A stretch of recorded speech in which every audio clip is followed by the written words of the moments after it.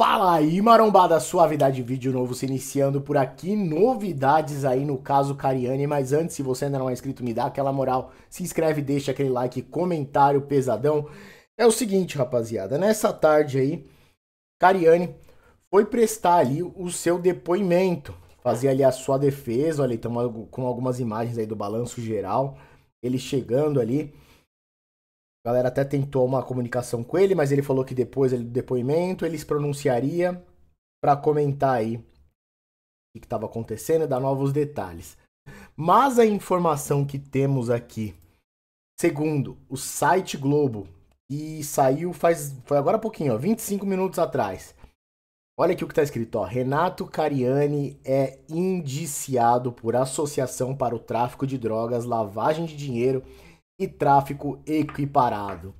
Vamos ler a reportagem junto aqui, ó. Segundo a Polícia Federal, o tráfico é equiparado porque Cariani supostamente não se envolveu diretamente com drogas ilícitas, mas com produto químico destinado à preparação de entorpecentes. Influenciador fitness foi ouvido pela PF nesta segunda-feira, dia 18. O caso começou a ser investigado em 2019, após a AstraZeneca denunciar fraudes em notas fiscais. E aqui continua. A Polícia Federal indiciou o influenciador fitness Renato Cariani por tráfico equiparado, associação para tráfico de drogas e lavagem de dinheiro. Ele segue em liberdade após a justiça negar nesta segunda-feira pedido de prisão feito pelo Ministério Público. Segundo a polícia, o tráfico é equiparado porque Cariani supostamente não se envolveu diretamente com drogas ilícitas, mas com produto químico destinado à preparação de entorpecentes. Cariani prestou depoimento na sede da instituição na cidade de São Paulo na tarde desta segunda. Ele chegou à sede da PF na zona oeste da capital por volta de 1h30, acompanhado do advogado, que é aquele vídeo que eu mostrei para vocês. Ele é suspeito de participar de um esquema de desvio de produtos químicos para o narcotráfico, produzir toneladas de drogas, especialmente crack. Antes de prestar depoimento, Cariani não quis comentar as investigações.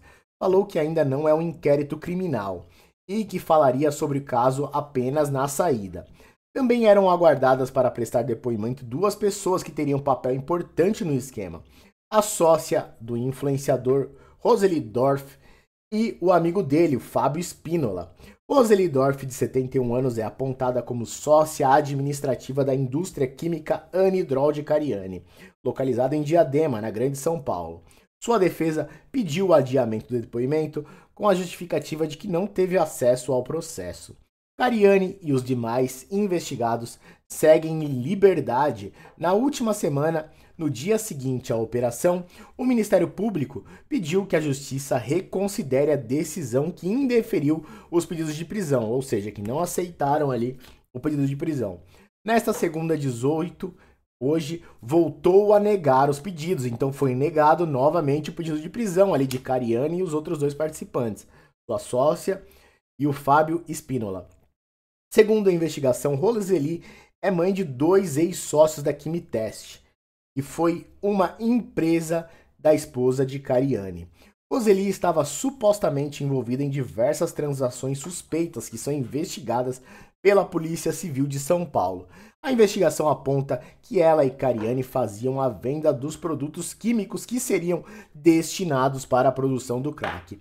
Fábio Spínola também estaria envolvida nesse núcleo. Ele é apontado como amigo de Cariani. Bom, rapaziada, são essas as novidades que nós temos até agora. Cariani foi indiciado, mas foi negado o pedido de prisão dele já na semana passada e hoje novamente, segundo aqui a reportagem do G1. Qualquer novidade eu trago aqui para vocês. Se você chegou até aqui, me dá aquela moral, se inscreve, deixa aquele like, comentário pesadão. Te vejo no próximo vídeo e um grande abraço, marombada!